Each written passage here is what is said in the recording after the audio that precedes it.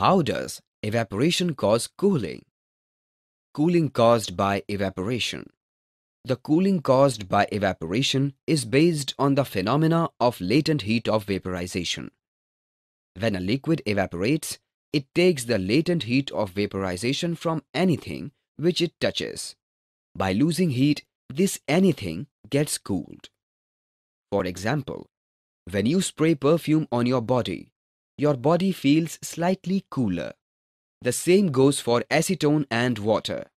This is an effect of evaporation or the change of matter from its liquid state to its vapor state. Applications of evaporative cooling. During the summer, we wear cotton clothes. Cotton being a good absorber of water allows more sweat to be in contact with the atmosphere, consequently helping in more evaporation.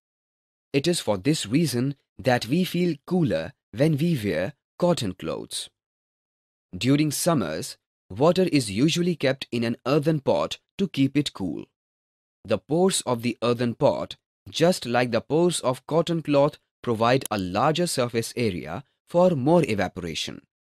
The water evaporates continuously and takes the latent heat required for vaporization from the earthen pot and the remaining water.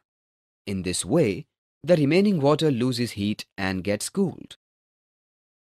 For more such videos on all subjects, practice questions and a lot more. Download iPrep and learn unlimited.